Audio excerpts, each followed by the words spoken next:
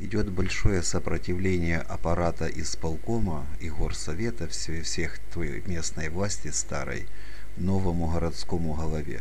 И вот он пишет на одном примере, а дальше вы видео посмотрите, как он их отчитывает, что вот это херсонское коммунальное транспортное предприятие, которому купили автобусы, и он беседовал с руководителем, тот дал ему слово офицера, что уволится, потом он стал пропадать, прячется от кадровиков, юристов, не отвечает на их звонки, и это только один штрих.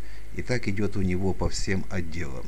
И вот он кто в отпуск идет, кто на больничный, а фактически мы же платим их, им деньги с нашего кармана, с бюджета, они сидят на больничном или в отпуске, или еще что-то там, и за наш счет это все происходит.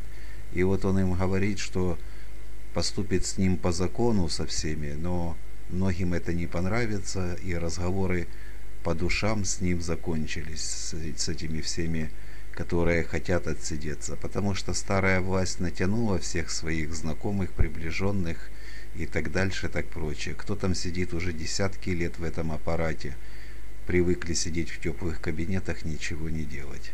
Мы пожелаем Колыхаеву удачи.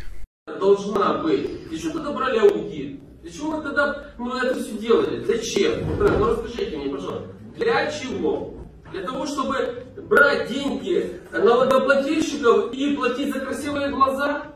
Мы, когда шли на выборы, мы говорили о следующем, что ликвидировать все убыточные коммунальные предприятия. Было такое или не было такого?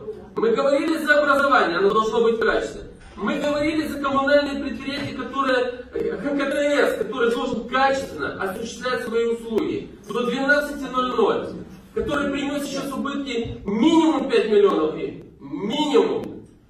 Когда продавались эти маршруты, школьники от маршрутов идут от 2 до 5 тысяч гривен. Дальше рассказывать. Давайте посмотрим документы. Может я наговариваю на людей. На, на людей. Я стану извинюсь, стану на колени, извинюсь. Но если я, если я прав, что тогда будем делать? Вот и все. Или мы работаем, или мы не работаем. Ставлю на голосование 21.